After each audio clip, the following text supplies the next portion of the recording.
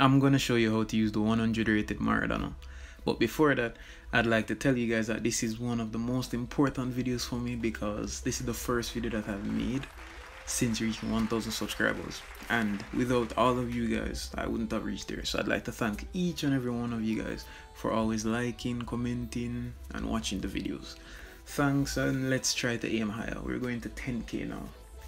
So let's go. Also for every video from now on I'll try to do two shoutouts they're gonna be first comment shoutouts and a random shoutout the first comment shoutout goes out to Arya Sarkar and the random comment goes out to Demar McLeish. So don't forget to just leave comments down below. If you're not first, don't worry about it. You can always still drop your comments and hopefully it becomes as the random comment. Let's see how it goes. If you're new here, I'm Sharc Gaming and I do PES mobile videos. So subscribe if you want to see player reviews, manager reviews, gameplays and some live streams. Now without further ado, let's do the review.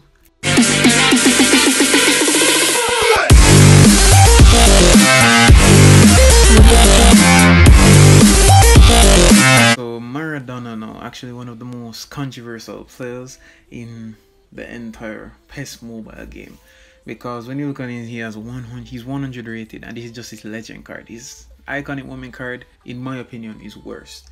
I do not like his iconic moment card. It doesn't play as good as his regular legend card. His regular legend card is amazing. It's 100 rated in second striker and attacking midfield while being 98 rated in center forward. And as we look here at the details he's 164 centimeters you know in height so he's very short. So you don't expect him to have that good of like heading right? Yeah that's what I thought as well, but his heading is 86, so he can head the ball. His jump is about 75 though, so it's not really that, you know, but he can still head the ball. Uh, as you can see here, his stats, most of them are they're really, really blue 97, 99, 99, 99. So he's really good at dribbling, really good at offensive awareness. His finishing is 99 as well, so he can finish really, really well. I have a few problems with the card, of course, because you know no card is perfect, and to me he's just a second striker version of Messi in a sense. Just that Messi has more shot options, and we'll get into that later. So his heading is 86 actually, not 85. Lofted pass 91. His low pass is 95. Curl 97. So you see with this now, his weak foot his weak foot accuracy is 3 out of 4 so his weak foot is very accurate. So you can take curlers from the right side or the left side. That's the most effective way to use him. You can use curlers or you can use long range shots because he has long range drive long range shooting and outside curlers as well as passing. So what I do is that you can play him as a second striker in a false nine position like a 4-3-3 formation and with that he'll play as the lone striker up top. What he does is that he reverts back and he helps with the distribution out to the wingers. So he's very effective there and his through passing is very accurate. His weighted passes are very good so you can use him for that. If you use him in the attacking mid forward position he's, he's very good right there as he's a very good playmaker. You know he does have the traits. He he has mostly blue stats so you know he can do almost every single thing. So he can do that and he can do a lot of running. The problems that i really face with him just a few of them basically is that his physical contact really isn't all that good. It's 81 his speed is 85 so he isn't really all that fast but his acceleration the longer time that he has on the ball he'll move faster. So his acceleration is 95 it's not that bad. His kicking power could be more because it's 85 you know, compared to Scholes and Adriano who are at 99, so he can actually crack some long shots from outside the box properly, and you know that it's either going to score or the keeper is going to like the keeper can't catch it. Yeah, so that's not what I get from this. But the main problem that I have with Maradona, the main problem is that his stamina is too darn low. When I say low, I mean mid game, he's very very tired. So what I've done now is that I've basically concluded that if I am going to use Maradona in my counter-attacking formation, I have to have a good substitute for him. So what I do is that I have Del Piero on the bench, the iconic moment version of Del Piero. If you guys want to see a review for that, it's already there. So I'll just put that link down in the description or you can check out my player review playlist. But yeah, I use Del Piero as a good replacement because he's very, very good.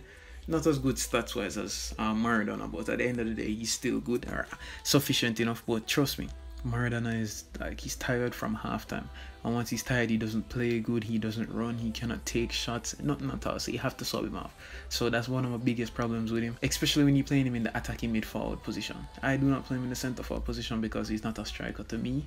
You get what I'm trying to say? I really prefer like goal poachers rather than a classic number 10. And a classic number 10 is basically a player who uses deft touches and not necessarily power. So that's why his kicking power isn't all that good. He has, you know, he's just like uh like Zico, but he's better. So in the video that I made with Zico and I titled it, Is he better than Maradona? No, he's not better than Maradona he does have like a few different or better traits, but Maradona is better overall. So Maradona is better in that aspect. But yeah, his stamina is really, really low. So what you guys should be is probably playing in a position-based formation, and then he will last longer. But still, he still cannot run the entire 90, especially if it's a fast-paced game. He cannot run the full 90. It's it's it's it's it's, it's very disheartening. Another problem that I have with him is that his weak foot usage is only 2 out of 4. So what happens is that 50% of the times when you're over um, the right side about to take a curler with this right foot, the problem is that sometimes it will turn out to be an outside curler because majority of the time he doesn't want to use his right foot to curl it. So he'll get an outside curler. Don't get me wrong, he will probably still score, but it wasn't what you had intended or the type of shot that you had intended in the first place if you get what I'm trying to say. So yeah, that's a problem for me as well. I've realized that you know, there are not really that many problems with him because he's a very good card overall. I really like using his card. He's really, really good overall. Uh, as you can see here, he has like some skills: double touch, Marseille turn. You know, he has uh, he has the mid-range curler arm trait, so that's why I say he's very, very good at you know doing curlers. His acrobatic finishing is really good. His low lofted pass, you know, he has that, and he has gamesmanship. Gamesmanship is basically being able to draw a penalty in the box by doing the bare minimum. So once you're in the box with him, just do a skill and bam, Maradona is there and he's gonna score. So that's what you guys just have to do right there. I'm playing in different formations. I play in a lot of different formations. It all depends. This is just one of the formations that I play him in. This is like the Pep Guardiola formation. I also play him there. He acts as a false nine, um, second striker out top, like what Firmino does for Klopp in Liverpool, or what Messi did um, for Pep back in the day at Barcelona. So like that's basically what happens. If you made it this far, the comment keyword today is squad. So if you made it this far, comment squad so I know that you reached this far. Thank you for watching this video. I hope that this video was very helpful for you guys on how to use Diego Maradona. Don't forget to smash that like button, smash that subscribe button. Road to 10,000 subscribers now. So just help me out. Let's go. I'm out.